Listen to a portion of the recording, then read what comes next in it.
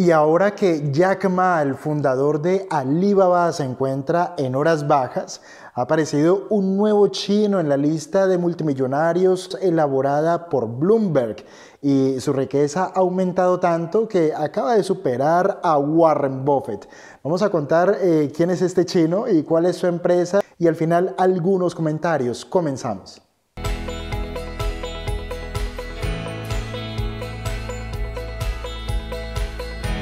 Song Shanshan está estableciendo nuevos récords en términos de riqueza.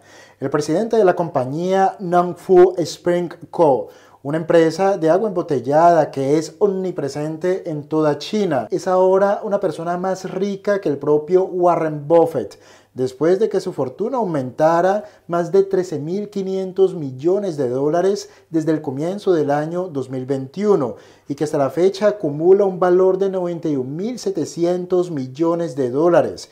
Y esto según el índice Bloomberg de multimillonarios. Song, de 66 años, es ahora la sexta persona más rica del planeta, después de que las acciones de Nongfu subieran más de un 18% a principios de este año 2021.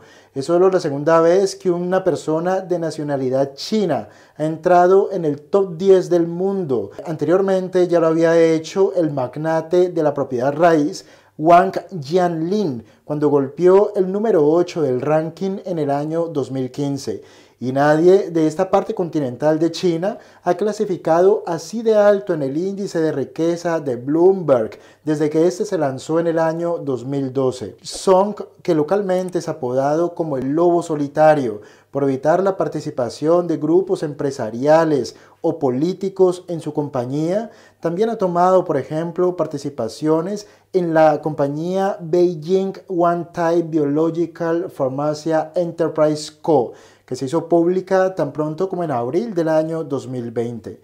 Las acciones de Song han aumentado más del 2.500%, destronando de esta forma al Mukesh Ambani de la India como la persona más rica de Asia tan pronto como la semana pasada y está cerca de entrar en el reino rarificado de personas que valen más de 100 mil millones de dólares. Warren Buffett está fuera de este grupo ya que tiene actualmente una fortuna de apenas 86 mil millones de dólares. Pero tenemos que recordar que el director de Berkshire Hathaway ha regalado o ha donado más de 37 mil millones de dólares en acciones de Berkshire desde el año 2006. Es decir, Warren Buffett junto a Bill Gates son los mayores filántropos de todos los tiempos. Los inversionistas ahora mismo están aumentando y están invirtiendo de manera muy activa en acciones de consumo de origen chino, mientras ese país demuestra que se está recuperando rápidamente del COVID-19. Como lo acabamos de comentar, este chino ha superado a alguien tan importante y tan influyente como Warren Buffett, el director general de Berkshire Hathaway.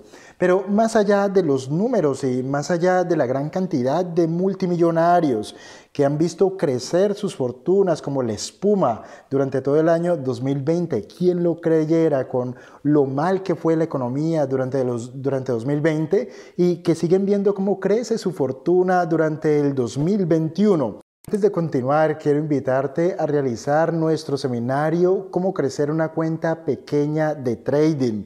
En este seminario explico de manera muy concreta y de manera práctica cuáles son los hábitos, cuál es el estilo y cuáles son las estrategias que yo utilicé desde el principio para crecer una cuenta pequeña y poderla llevar hasta un nivel que significará un cambio en mi vida. Es muy práctico y es 100% online y aquí debajo te dejo todos los detalles.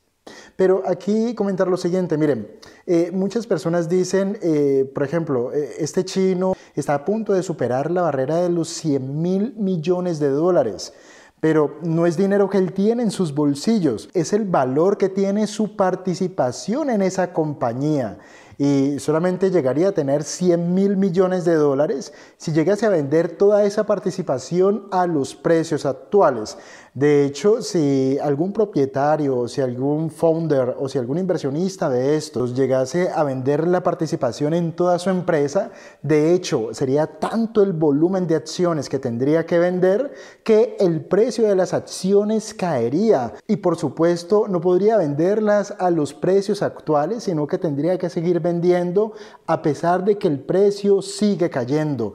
Y además porque eh, cuando un fundador, cuando un insider, cuando un inversionista de estos vende las acciones de su propia empresa, esto es visto por los mercados con malos ojos, porque ello, el mercado lo que dice es lo siguiente, si está vendiendo todas sus acciones, por algo será, no confía en su propia empresa.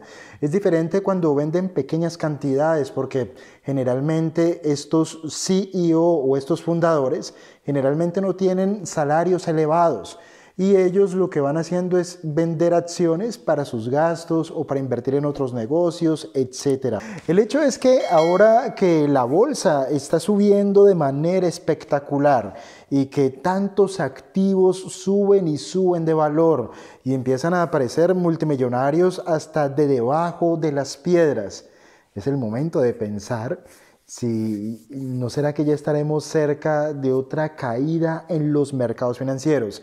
Y en ese sentido me gustaría hacerles a todos ustedes la siguiente pregunta.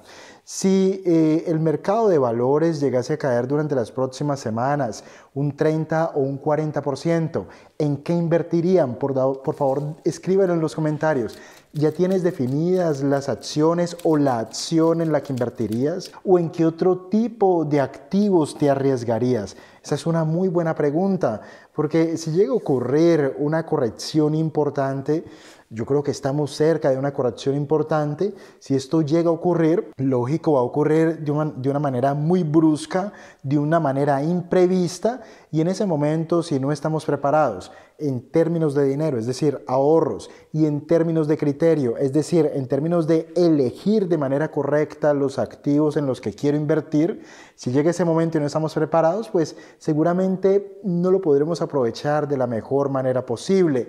Preparémonos por si ocurre una corrección importante en los mercados y escribe en qué estarías dispuesto a invertir. Como siempre, si este video te ha sido de valor, déjanos un pulgar arriba, compártelo en tus redes sociales y considera suscribirte a nuestro canal si todavía no lo has hecho. Recuerda solicitar los 15 videos privados de nuestro curso gratis de bolsa. Es gratis, pero estará disponible solo por tiempo limitado. Aquí debajo te dejo un link. Lo solicitas y lo enviaremos gratis a tu correo electrónico.